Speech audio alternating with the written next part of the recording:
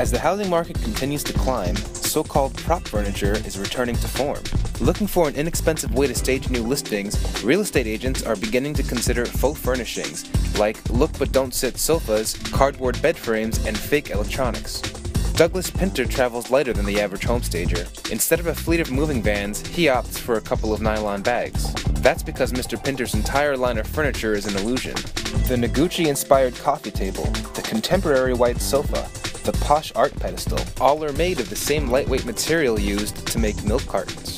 Mr. Pinter recently staged a three bedroom penthouse on the north end of Central Park in Manhattan. Mr. Pinter and his associate, Michael Smith, squatted down in his spare bedroom and began to bend, crease, and clasp their white polymer panels.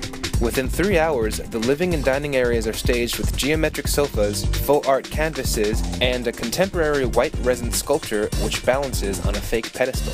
We were asked to come in and to create an environment where people could understand the space. What remains to be seen is whether the trend will continue as the market stabilizes. Traditional staging could cost several thousand dollars for a luxury apartment. Mr. Pinter's company charges about one third of that price. This New York apartment is expected to hit the market for about $2 million, but the listing agent says he expects it to sell above asking price.